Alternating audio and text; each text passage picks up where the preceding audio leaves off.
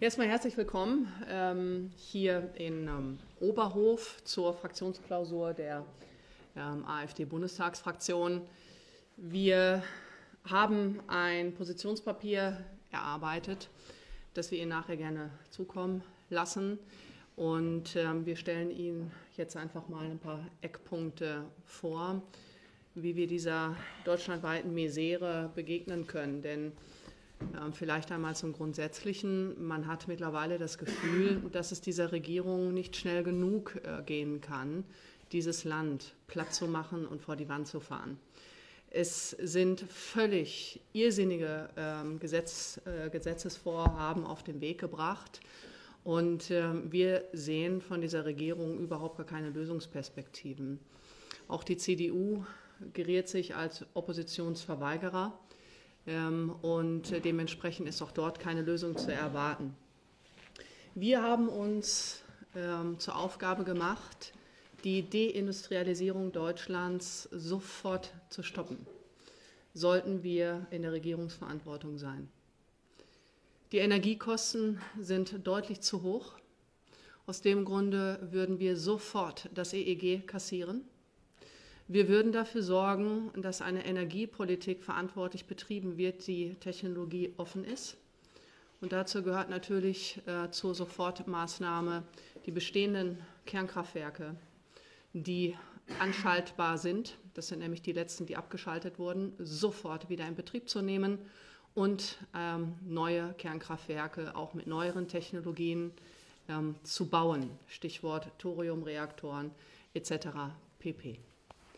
Das wird alles nicht gemacht. Ähm, Deutschland ähm, stützt sich auf Flatterstrom, auf ähm, die erneuerbaren Energien, wie sie so genannt werden. Das sind sie natürlich mitnichten, die immer noch einen einstelligen Prozentsatz des Energiemixes hier ausmachen. Und äh, für diese völlig verrückt gewordene grüne Regierung ist es völlig in Ordnung, wie es der ähm, Vizekanzler und Wirtschafts- und Energieminister gesagt hat, der Kinderbuchautor Robert Habeck, dass es völlig in Ordnung ist, aus der Ukraine ähm, Strom auch mit zu importieren und ähm, dass es völlig in Ordnung ist für die Ukraine, ähm, dass sie ihre alten Atomkraftwerke ähm, am Laufen halten, weil sie seien ja schließlich, O-Ton, gebaut worden. Da frage ich mich wirklich, was dieser Wirtschafts- und Energieminister eigentlich im Sinn hat. Er schaltet die modernsten Kernkraftwerke ab in Deutschland und will andere hochgefährdete Meiler laufen lassen. So, das erstmal so zum Grundsatz. Das werden wir, sobald wir in der Regierungsverantwortung sind, abstellen. Denn wir brauchen einen vernünftigen Energiemix und natürlich die Kernkraft, äh, die dazugehört, um diese horrenden Energiekosten abzustellen und wieder zu senken. Denn wir preisen uns aus dem Markt heraus. Die Unternehmen heute leiden unter diesen Energiekosten. Und Sie müssen sich vorstellen, dass Energiekosten in der Wertschöpfungskette in jedem Produkt drinstecken. Darum werden alle Produkte teurer. Das wird ja auch selten verstanden, dieser Sachzusammenhang, dass das vielleicht auch etwas mit der Inflation zu tun haben, mit der wir uns heute konfrontiert sehen. Darum kann es nur so gehen, die Energiekosten zu senden, äh, senken über einen vernünftigen ähm, ähm, ähm Energieangebotsmix. Und ähm, wir werden auch äh, weiteres tun. Wir werden dieses unsägliche Öl- und Gasheizungsverbot werden wir kassieren, und zwar sofort. Wir werden auch kassieren dieses völlig unnötige, politisch gemachte, ideologisch herbeigeführte Verbrennerverbot. Dieses Verbrennerverbot, gegen das sich ja niemand äh, wehrt, das wurde fairerweise wurde ja eingeführt von der EU in der letzten Legislatur, als Angela Merkel, die CDU, noch das Sagen hatte. Sie hat keinen Widerspruch im Deutschen Bundestag geäußert. Das waren nämlich nur wir als AfD-Fraktion. Ich erinnere an die Abstimmung im Jahr 2018 und auch unseren Antrag. Der Verbrenner oder das Verbrennerverbot äh, schadet der deutschen Schlüsselautoindustrie asymmetrisch hoch. Es schädigt unsere Wirtschaft und die hohen Energiekosten nochmal addiert dazu Schaden der gesamten Wertschöpfungskette in Deutschland. Und dementsprechend sind alle Unternehmen, die produzierend tätig sind, gefährdet. Sie reagieren darauf, BASF, Bayer, Wacker, Chemie, sehen wir alles, steht in den Zeitungen seit Jahr und Tag, dass diese Unternehmen, die übrigens Arbeitgeber von Hunderttausenden von Menschen sind, das Weite suchen. Das heißt, diese Arbeitsplätze werden in Deutschland wegfallen, sie entstehen neu im Ausland. Und wer wirbt an? Ganz, ganz große Anwerbevorfahren, die Volksrepublik China und vor allen Dingen an der Spitze die USA, die davon natürlich absolut profitieren über diese irrsinnige ähm, Energie- und Wirtschaftspolitik, die hier gefahren wird. Wir müssen die Kosten insgesamt senken. Das, ähm, ähm, das äh, greift in die Steuerpolitik ein, um nur ein Beispiel zu nennen.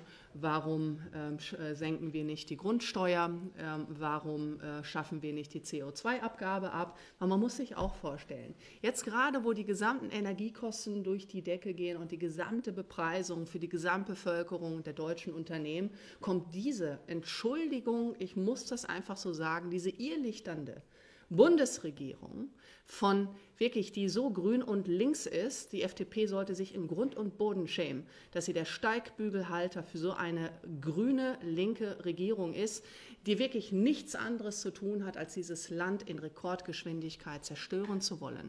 So, die kommen dann, dann einfach dahin und ähm, wollen diese, ähm, dieses, äh, dieses Gesetz ähm, dort ähm, einführen. Und ähm, ich, muss Ihnen, ich muss Ihnen sagen, das ist insgesamt so unverantwortlich. Diese CO2-Abgabe erhöht eklatant die Energiebepreisung, die Preise auf Sprit, auf Heizkosten, auf Strom in einer Phase, wo die Energiepreise Energie braucht jeder von uns, sowieso schon Rekordwerte hat. Also was hat diese Bundesregierung eigentlich vor? Es geht hier nur um die Schädigung der deutschen Bevölkerung und der Unternehmen. Das war es erstmal von meiner Seite. Tino, ähm, ich übergebe an dich. Vielen Dank, äh, auch von meiner Seite herzlich willkommen.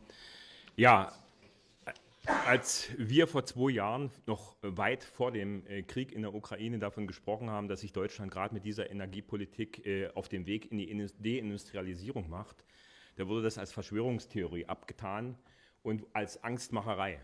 Mittlerweile erleben wir, dass selbst große Tageszeitungen äh, selbst von der Deindustrialisierung sprechen, der BDI-Chef ebenso bereits davor warnt, vor einer toxischen Situation wird gesprochen. Und äh, dann erlebe ich Herrn Scholz gestern in Meseberg und er tritt vor die Presse und spricht davon, dass die Preise sinken und freut sich darüber. Und da fragt man sich wirklich, in welcher Welt, in welcher Parallelwelt der Bundeskanzler eigentlich lebt. Wenn man die aktuellen Preise auch sieht, was gerade Strom- und auch Gaspreise angeht, dann muss man wirklich äh, fragen, von was er eigentlich ausgeht. Aktueller Gaspreis, ich habe mir das auch heute extra nochmal angeguckt. Bis zum 30. September die Altverträge, die Kilowattstunde 5,3 Cent. Wir haben aktuell Angebote von 9,7 Cent die, die, Kilowattstunde Gas. Das ein, ist ein Preiszuwachs von 81 Prozent, der noch kommt. Also wir sind äh, noch lange nicht am Ende der äh, Fahnenstange. Genau das Gleiche äh, trifft auf Strom zu, wo wir im Jahr 2016 noch äh, Kilowatt äh, von 11 Cent die Kilowattstunde hatten. Mittlerweile sind wir bei 44, 45 Cent die Kilowattstunde. Äh, auch für die Industrie. Das bedeutet also einen Preisanstieg von über 200 Prozent. Und das ist vollkommen klar, dass sich natürlich dann die Großindustrie, auch die Industrie, was Glas angeht, was Stahl angeht, was Eisen angeht, Keramik, das Land fluchtartig verlassen. Und das sind ja bereits mittlerweile über 40 Prozent, die auf gepackten Koffern stehen und dieses Land auch verlassen wollen. Was sind die Maßnahmen, die äh, wir vorschlagen? Ganz konkret, äh, weil wir ja aktuell auch sehen, dass äh, die Bundesregierung sich dahingehend aushilft, diese Preise zu subventionieren, was im Prinzip linke Tasche, rechte Tasche bedeutet. Wir können aber mit unseren Maßnahmen, die wir schon immer gefordert haben, Frau Weidel hat es gesagt, die CO2-Abgabe sofort abschaffen, sofortige Erleichterungen und vor allen Dingen Kostenersparnisse für die Industrie, für den Mittelstand erzeugen. Wir wollen die Energiesteuer senken äh, oder abschaffen. Auch das wäre eine Sofortmaßnahme, die man einführen könnte. Dann muss natürlich auch das Energieangebot ausgeweitet werden. Das geht durch Kernkraft, wie erwähnt wurde, aber natürlich auch um die sofortige Reparatur und Wiederinbetriebnahme von Nord Stream.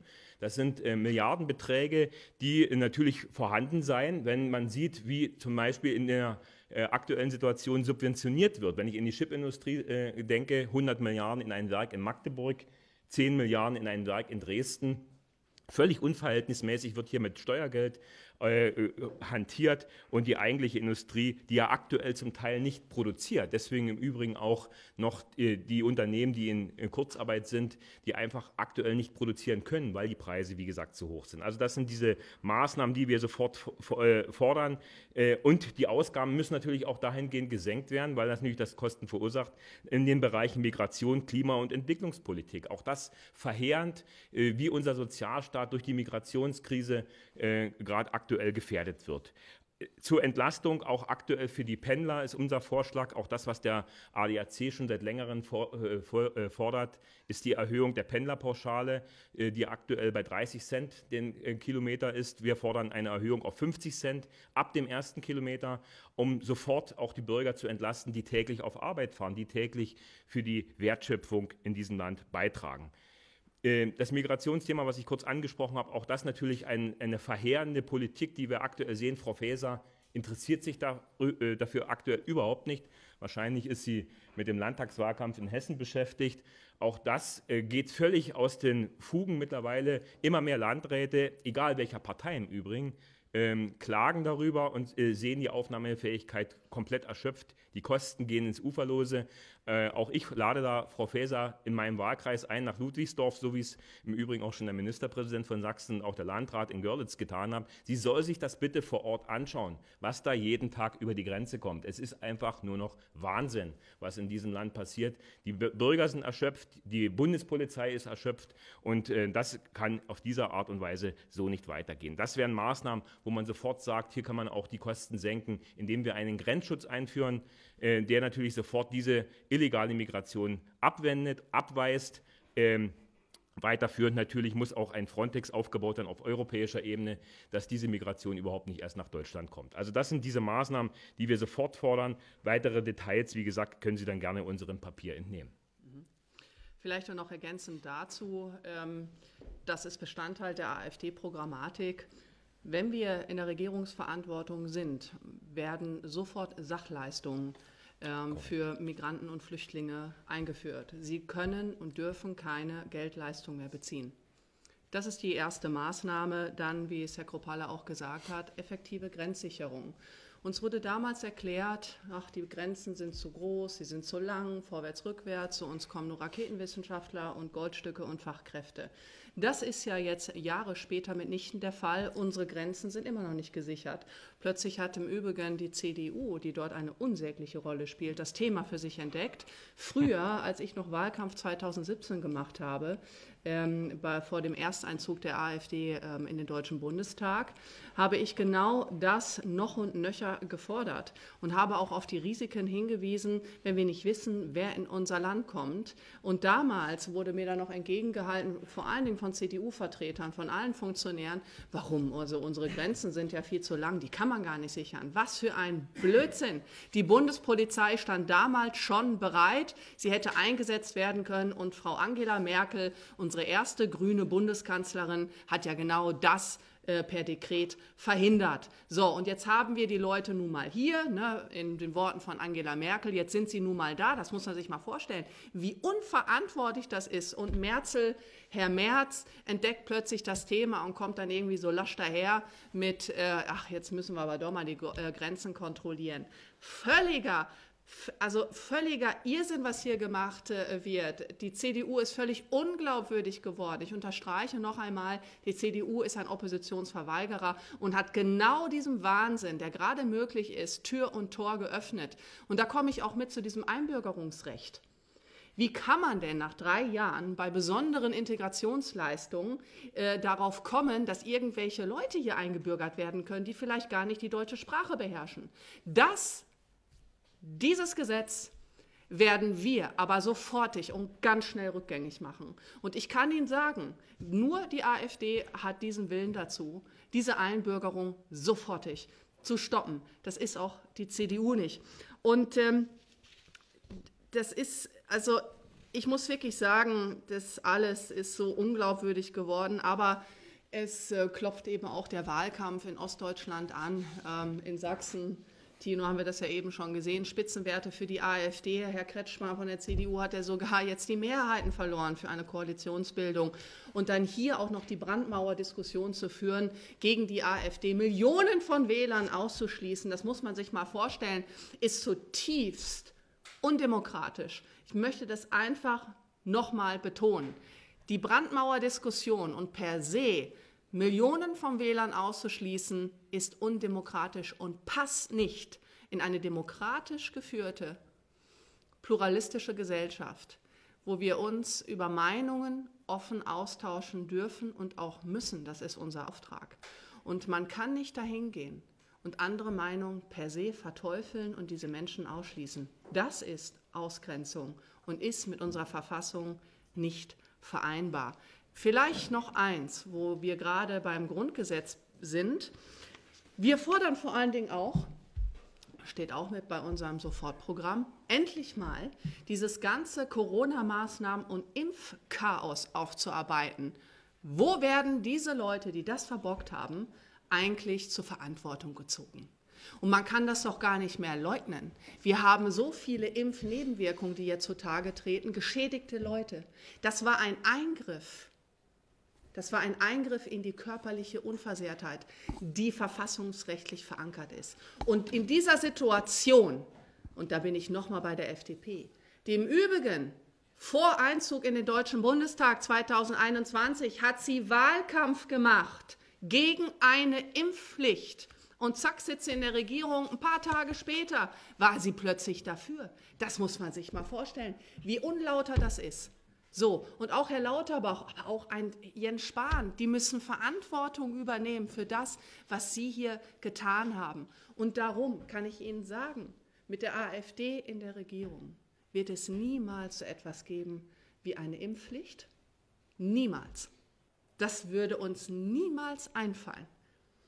Und wir sind für eine lückenlose, völlig unideologische Aufklärung von diesen Skandalen, die dort in der Vergangenheit passiert äh, sind, von den Drangsalen, wirklich, also von der Drangsal der Menschen, Ausgangsverbote, de facto Zwangsimpfung. Das ist etwas, was auf den Tisch gehört und mit uns wird man das nicht aussitzen können. Ich bedanke mich herzlich.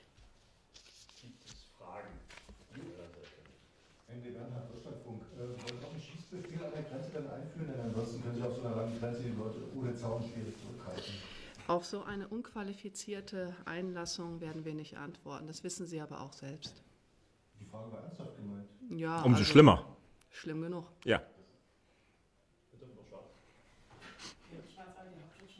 Zwei Fragen. Zum einen würde mich interessieren, also dass ein Positionspapier oder ein Sofortprogramm ohne Machbarkeit kommt, ist ja normal. Es sind noch zwei Jahre bis zur Bundestagswahl. Ich würde gerne wissen, wie konkret bei Ihnen vielleicht im Hintergrund gerade trotzdem schon gerechnet wird, was Sie jetzt erläutert haben. Das würde massive Umschichtungen im Haushalt bedeuten. Also die Frage ist, wo stehen Sie denn damit in zwei Jahren? Die zweite Frage, ähm, um den Blick so ein bisschen mehr in die Gegenwart zu holen. In ein paar Wochen sind die Landtagswahlen in Hessen und Bayern. Womit rechnen Sie da? Wie, gehen Sie, wie sind da Ihre Erwartungen auch angesichts der aktuellen Umfragewerte? Hm. Soll ich anfangen? Also Grundvoraussetzung natürlich auch für unser Arbeitspapier und das ist auch die Prämisse, die wir jetzt natürlich hier in der, in der Klausur äh, an den Tag gelegt haben, ist natürlich die, auch die äh, Funktionsfähigkeit unserer Arbeit in der Fraktion die nächsten Wochen und Monate. Also alle diese Punkte, die wir jetzt in diesem Positionspapier fordern, werden natürlich mit Anträgen auch im Bundestag äh, gefüttert und natürlich auch dort ins Plenum eingebracht. Also für uns ist natürlich Hauptthema aktuell natürlich die wirtschaftliche Situation, aber auch die soziale Situation in diesem Land. Äh, zur zweiten Frage, natürlich Grundvoraussetzung und auch für die Zukunft ähm, äh, was die nächste Bundestagswahl anginge, heißt natürlich, und das haben wir immer wieder gefordert, erstmal auch einen Kassensturz zu machen, damit wir wissen, was sind die Einnahmen konkret, was sind die Ausgaben, wo kann man sparen. Auch Einsparungen zum Beispiel, was Budgetierungen äh, an die EU angeht, äh, haben wir vorgeschlagen. Auch da haben wir ja mittlerweile Beträge äh, aufgerufen, wo wir den Ausgleich Großbritanniens fast vollständig allein übernehmen. Das muss man sich mal vorstellen. Ein großes Land wie Großbritannien tritt aus der EU aus und Deutschland übernimmt die Kosten. Also auch das sind Dinge, die zurückgefahren werden müssen. Migration ist, äh, wie gesagt, erwähnt worden. Da reden wir ja mittlerweile von Milliardenbeträgen, die äh, überhaupt nicht mehr klar definiert werden können und auch aufgezeigt werden können, weil die Kommunen zahlen, die Länder zahlen, der Bund zahlt. Eigentlich weiß niemand, wie viel wir aktuell dafür ausgeben. Ich lese jeden Tag unterschiedliche Zahlen. Eine verlässliche Gesamtzahl gibt es nicht. Das ist Aufgabe des Finanzministers. Also von daher diese Ausgaben, Einnahmen, äh, die jeder Volkswirt und die, die, jeder Handwerksmeister jeden Tag auf dem Tisch hat, die muss auch die Bundesregierung endlich an den Tag legen und nicht mit neuen Sondervermögen kommen was Sonderschulden sind, was ja mittlerweile auch der Bundesrechnungshof äh, stark kritisiert, wie hier mit Geld, mit Staatsgeld, mit unserem Steuergeld umgegangen wird. Also das äh, ist natürlich eine klare Forderung äh, auch an den Finanzminister. Und zur Wahl, äh, ja, die nächsten Landtagswahlen, um das vielleicht kurz zu sagen, ähm, wir wollen natürlich auch in Bayern und Hessen äh, als starke Opposition einziehen und mittlerweile erkennen die Bürger, und das sind ja auch die Wahlumfragen, die es im Osten äh, gibt, und es ist völlig klar, dass selbst, und das muss auch der Wähler wissen, auch, der, auch der, die Ansprache an den Wähler, wer CDU wählt, wählt die aktuelle Regierungspolitik weiter, weil die CDU als Koalitionspartner die Grünen zum Beispiel nicht ausschließt. Und mit den Grünen wird diese Deindustrialisierung, wie wir sie jetzt erleben, äh, und auch der FDP wird fortgesetzt. Und das muss der Wähler wissen. Deswegen kann es nur eine Alternative geben für die Wähler, auch in Bayern und, Nord äh, und in Hessen, die AfD zu wählen, um hier, wie gesagt, diesem Spuk ein Ende zu bereiten. RTL NTV. Sie haben ja gerade schon die Umfragewerte angesprochen und auch die Landtagswahlen. Mich würde interessieren, was Sie dazu sagen, zu diesen Umfragewerten. Und meine zweite Frage ist, was sind Ihre Ziele speziell für die Landtagswahl in Sachsen und Thüringen? Ja, ich kann das kurz noch ergänzen. Also, um das auch nochmal deutlich zu sagen, wir freuen uns über diese Umfrageergebnisse. Das ist für uns ganz klar. Was aber uns wirklich am Herzen liegt, und äh, das bitte ich dann auch wirklich mal äh, mit zu überbringen, ist, dass es uns um Deutschland geht. Wir wollen, dass es Deutschland besser geht, dass die Wirtschaft nicht abwandert. Denn wenn die Industrie, wenn der Mittelstaat verschwindet, dann werden wir uns auch diesen Sozialstaat, der sowieso ausgeufert ist, nicht mehr leisten können. Und äh, dazu sind wir bereit, mit allen anderen Parteien auch zu sprechen. Ja, auch wir sind in einigen Punkten kompromissbereit. Auf die Details möchte ich jetzt nicht eingehen. Aber insgesamt ist für uns Deutschland auch die Interessen der Bürger, auch die Interessen des Mittelstandes und der Wirtschaft stehen im Vordergrund. Deswegen äh, freuen wir uns auf die Umfrageergebnisse aktuell, die es aus Sachsen und aus anderen östlichen Bundesländern gibt. Aber ich sage ganz ehrlich, da ist auch die gläserne Decke noch nicht erreicht. Wir wollen, und das habe ich immer gesagt, äh, nicht bloß Volkspartei im Osten sein, sondern auch in den alten Bundesländern. Aber wir wollen natürlich, dass gerade mit uns oder ohne uns eine Politik nicht mehr machbar ist. Und das sieht aktuell in Umfragen so aus. Da wurden wir noch vor einem Jahr belächelt. Äh, und ich denke, dass immer mehr Bürger aufwachen. Ich sehe das selbst, dass immer mehr mittelständische Unternehmer Bauunternehmer, Handwerker äh, mittlerweile wissen, dass eine FDP zum Beispiel als alte Mittelstands- und Industriepartei nicht mehr in der Lage ist, die Interessen dieser Klientel abzudecken, sondern nur noch die AfD. Sie ist überflüssig. Also die FDP äh, macht sich überflüssig. Niemand braucht so eine Partei, nicht wahr? Ähm, das vielleicht dazu. Und nochmal zu den Umfragewerten in Sachsen. Darum ähm, habe ich das nochmal aufgeführt. Eine Brandmauerdiskussion, vor allen Dingen in Sachsen, in ostdeutschen Bundesländern, von Seiten der CDU, ist undemokratisch. Sie schließt Millionen von Wählern aus. Wenn man nämlich bedenkt, dass die AfD als stärkste Kraft mit dem Juniorpartner CDU im Osten nämlich zwei Drittel der Wähler bindet. Wir haben eine Zweidrittelmehrheit. Die Menschen wollen zu 66 Prozent rund, zu zwei Dritteln eine bürgerliche, vernunftorientierte Politik. So, und das werden sie auch wählen. Und das wird noch eindeutiger nächstes Jahr, wenn wir dort in die Landtagswahlen gehen. Es ist für Friedrich Merz nicht durchhaltbar, diesen Kurs der Brandmauer fortzuführen. Da gehen ihm die ostdeutschen ähm, CDU-Funktionäre alle auch völlig zu Recht von der Stange. Und das will ich mal sehen, was das dann für ein Theater wird. Friedrich Merz tut gut daran, auf die Wähler zu hören und vor allen Dingen auch auf seine eigene Partei und vor allen Dingen auch äh, das Chaos, was das zutage fördert, zu beenden. Und das haben wir erstmalig ähm, im Abgeordnetenhaus Berlin gesehen, wo der Wegner die ganze Zeit der CDU-Kandidat, der im Übrigen mit AfD-Position Wahlkampf gemacht hat, nachher koaliert er da mit den Grünen. Und ähm, ja, ähm, nein, nein, also ähm, nicht. Ähm, das war ein freudscher Versprechen, weil er eben die grünen Position mit übernommen hat. Also in dieser Koalition, in der großen Koalition, hat die CDU den grünen Part übernommen. Und damit machen sie sich dann natürlich komplett unglaubwürdig. Und ähm, wir haben als äh, AfD im Abgeordnetenhaus in Berlin dafür gesorgt, dass er überhaupt Bürgermeister geworden ist im dritten Wahlgang. Also den hat doch niemand gewählt, der wäre doch durchgefallen. Auch hier ist die AfD als ordnende Kraft eingetreten, dass sich so einer überhaupt noch halten kann. Also strategisch gesehen kann die CDU einfach nur noch verlieren, wenn sie nicht mit der AfD koaliert. Das ist die strategische, die einzige aus meiner Sicht strategische Option, die die CDU überhaupt für eine, ähm, für eine Regierungsfähigkeit langfristig hat. Ich würde noch ganz kurz nachfragen. Ähm, Marie Landes, MDR, ARD, Fernsehen. Also Sie haben es gerade schon angesprochen. Ähm, für die CDU wäre das die einzige Möglichkeit, mit der AfD zu ko koalieren. Ähm, mit wem wollen Sie denn regieren? Denn Sie brauchen ja andere Parteien, um zu regieren. Ja, das Naheliegendste für uns ist natürlich äh, die CDU. Aber äh, wenn es dann so weit käme, was ja auch rein hypothetisch ist, dann ähm, werden wir natürlich Gespräche mit mehreren führen. Also die, die Erstanlaufstelle ist die CDU und ähm, die eben die CDU tut gut daran, diese, diese, diese unsägliche, undemokratische Brandmauerdiskussion zu lassen, weil die Mehrheiten ja für eine bürgerliche Politik da sind.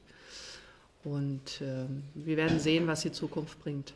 Vielleicht ergänzend dazu auf die aktuellen Umfragen aus Sachsen äh, mal äh, rekurrieren und sich die anschauen genau. Und wenn ich mir die kleineren Parteien anschaue, angefangen von der SPD, von den Grünen, ähm, auch von der FDP, die ja in Sachsen überhaupt keine Rolle spielt, ähm, kann es durchaus sein, dass drei Parteien äh, oder beziehungsweise die drei genannten Parteien überhaupt nicht mehr im nächsten Landtag vertreten sein werden.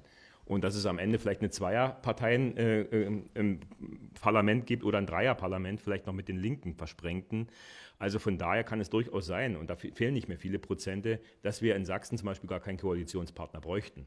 Also auch das muss die CDU wissen und das wird auch unser Anspruch im Wahlkampf sein. Wir wollen klar dort gewinnen und wir halten, wie gesagt, auch dort die einfache Mehrheit für möglich und damit haben wir im Prinzip die Option, Sachsen zum Besseren zu, äh, zu wandeln. Davor haben ja im Übrigen alle anderen Parteien Angst, dass die AfD in Regierungsverantwortung, wie wir in unserem Sofortprogramm hier auch aufgeführt haben, zum Wohle der Industrie, der Wirtschaft, auch der Menschen, der Rentner, der Familien sofort Politik machen, dass sich endlich eine Politik in der Weise in diesem Land wandelt, die zum Wohle aller und vor allen Dingen spürbar für die Bürger was verändert. Diese Bundesregierung, die aktuell 80 Prozent der Bevölkerung schlechte Politik nachweisen, 80 Prozent, so hoch gab es also ich kann mich nicht erinnern, dass die Unzufriedenheit mit einer Bundesregierung jemals so hoch war. Das ist seit 100 Jahren der höchste Wert. Diese Bundesregierung hat fertig. Da kommt nichts mehr.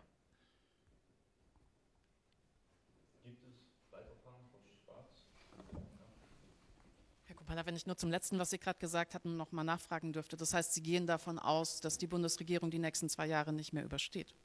Ja, wenn ich jetzt die äh, Ergebnisse aus Meseberg höre, wo man im Prinzip wieder über Subventionen und irgendwelche Erleichterungen dahingehend äh, nach, also die wirklichen Ka Kernprobleme sind ja nicht angepackt worden. Und heute schreibt die oder äh, äußert sich die FDP, sie möchte zurück zur Kernenergie. Also was ist das für eine Regierung? Der eine Koalitionspartner, Frau Lang, sagt, das geht überhaupt nicht. Sie, äh, es werden die Kernkraftwerke nicht eingeschaltet. Die FDP möchte das. Das ist doch keine Koalition, die in irgendeiner Weise das Land voranbringen will. Wo wir alle wissen, wir brauchen den Energiemix, wir brauchen Kernenergie. Das sind die ersten Punkte. Bei der Migration passiert gar nichts. Frau Faeser verweigert sich. Ich habe es ja eingangs bereits erwähnt. Also alles Dinge und Themen, und auch die Preisentwicklung, wenn ich die Strom- und Gaspreise sehe. Wo erkenne ich sofortige und sofortige, darum geht es ja. Deswegen heißt es ja auch Sofortprogramm.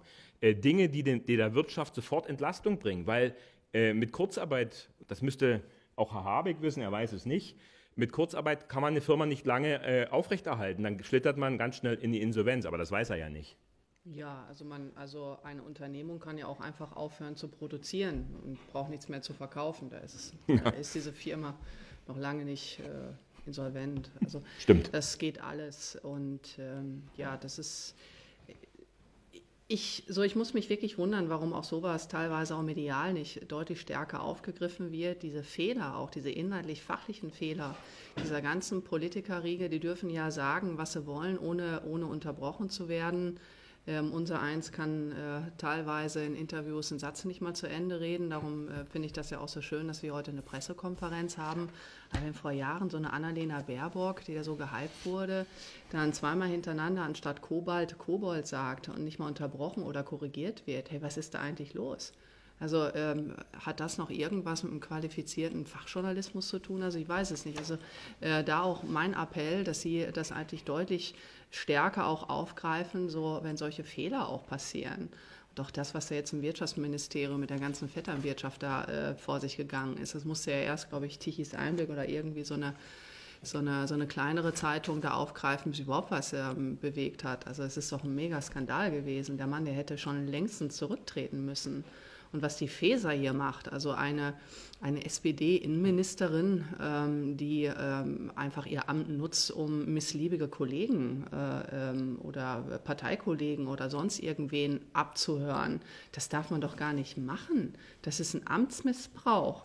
Oder eine SPD-Innenministerin, die den CDU-Verfassungsschutzpräsident anweist, die politische Konkurrenz zu diskreditieren. Das gibt es in keinem anderen Industrieland, so ein Konstrukt. Das ist zutiefst, das ist zutiefst verfassungsfeindlich aus meiner Sicht.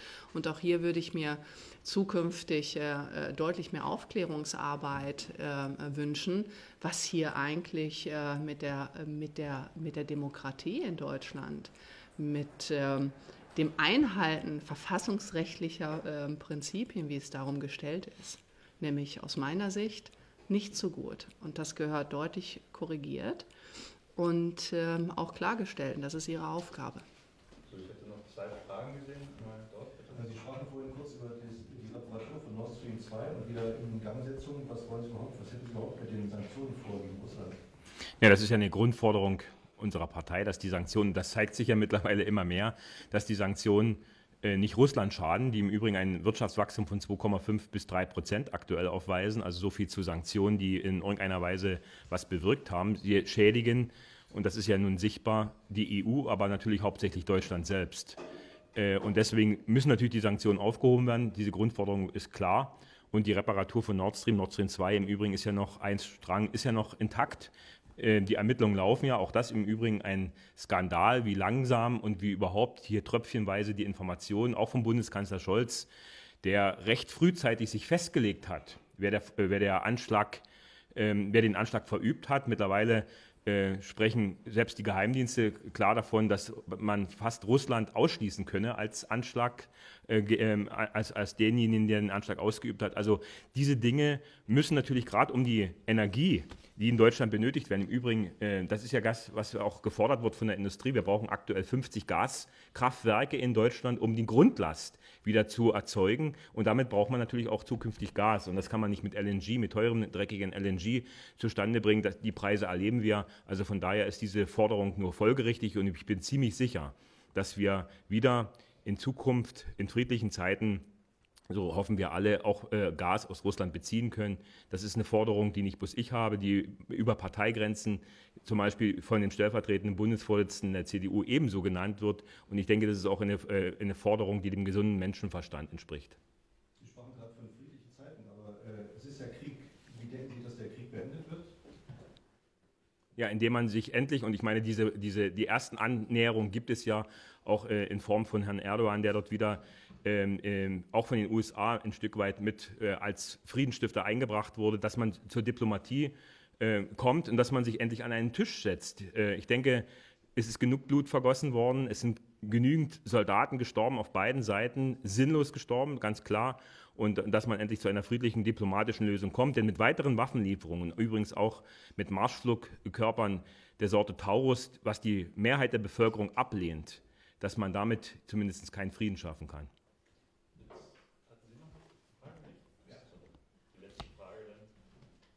MDR Thüringen. Äh, Sie haben ja jetzt äh, in Ihrem Aktionsprogramm vorwiegend äh, bundespolitische Themen angesprochen, Migration, Energie, ähm, Klima. Mich würde mal interessieren, wie Sie auf Landesebene jetzt bei den bevorstehenden Landtagswahlen in Sachsen und auch in Thüringen punkten wollen. Was sind dort Ihre Themen, ähm, die Sie sozusagen durchbringen wollen? Und, oder sagen Sie, es läuft auch mit Bundespolitik so gut, dass wir uns da jetzt gar nicht drum kümmern müssen? Hm. Naja, es ist ja der Punkt, Landespolitik und Bundespolitik äh, in Gänze auseinanderzuhalten, ist ja sowieso schwierig. Alle das, was in Berlin beschlossen wird, diese Aktion und beziehungsweise auch diese Dinge ähm, erleben ja die Bürgermeister, die Landräte, was innere Sicherheit angeht, was Grenzschutz angeht, äh, eben am eigenen Leib in den Kommunen. Und damit ist natürlich Landespolitik und Bundespolitik in Einklang zu bringen. Und wenn Forderungen der Landräte kommen, die kommen ja wie gesagt parteiübergreifend, sichert die Grenzen, so geht es nicht weiter, dann muss die Bundesregierung reagieren. Also wird diese Forderung natürlich auch auf Landesebene äh, von unserer Seite auch äh, weiterhin gefordert werden. Bildungspolitik ist natürlich auch ein wichtiges Thema, was landespolitisch ist, wo wir ganz klar sagen, die Ideologisierung in den Schulen muss aufhören, die Bildung muss wieder in den Vordergrund gerückt werden. Nehmen wir mal Beispiel Sachsen. Wenn auf 100 Lehrer, die die nächsten Jahre in Rente gehen, nur 50 neue Lehrer nachkommen. Und das äh, wird die nächsten Jahre sich fortsetzen. Also die Hälfte der Lehrer kommt wieder bis zurück oder wird neu eingestellt. Dann haben wir ein riesiges Problem auch in Zukunft. Aktuell schon ein riesiges Problem und bilden uns noch ein, ähm, die aktuellen Migranten mit Deutschkursen zu versehen, wo wir nicht mehr für unsere eigene Bevölkerung, für unsere eigenen Kinder Lehrer haben, wo Schulausfälle und Stundenausfälle an der Tagesordnung sind. Und das sehen wir dann an den Zahlen, mit welcher Bildung und welchen Bildungsabschlüssen die Kinder und Jugendlichen die Schule verlassen oder auch was Berufsausbildung äh, und Studium angeht, wo wir eine riesige Zahl von über zwei Millionen äh, Jugendlichen haben, die keinen Schul- oder äh, Studienabschluss haben, beziehungsweise Berufsabschluss. Das sind die Fachkräfte, die im eigenen Land schon sind, die wir liegen lassen. Landesthemen, die wir damit auch besetzen wollen. Also Landespolitik ein, äh, oder Bildungspolitik ein landespolitisches Thema, aber viele Dinge werden ja nun mal in Berlin entschieden und nicht in Dresden oder in Erfurt. Äh, wie geht man jetzt damit um? Also viele Entscheidungen hängen ja wirklich davon ab, was äh, eine Bundesregierung macht und nicht, was eine Landes- oder Staatsregierung macht.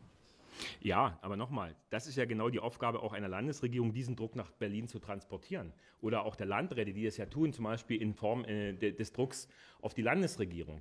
Dort sind die Probleme greifbar. Dort müssen im Prinzip die Bürger die Politik ausbauen, die in Berlin gemacht wird. Und deswegen muss es hier diesen Druck geben. Natürlich wäre es uns allen lieber, so schnell wie möglich Neuwahlen in diesem Land, damit diese unsägliche Bundesregierung abgelöst ist. Das ist natürlich klar. Aber äh, solange sich diese Koalition hält, weil sie natürlich weiß, sie ist im Prinzip äh, gezwungen, diese Politik fortzusetzen, äh, wird sich daran leider nichts ändern. Also nochmal, diesen Druck werden wir auch äh, führen. Und wenn es eine AfD-geführte Landesregierung in Sachsen gibt, werden natürlich auch dort, zum Beispiel was Kosten der Migration angeht, Unterbringung, Sachleistung, wir haben es erwähnt, werden sofort auf Landesebene umgesetzt. Das kann man tun. Danke. Dann vielen Dank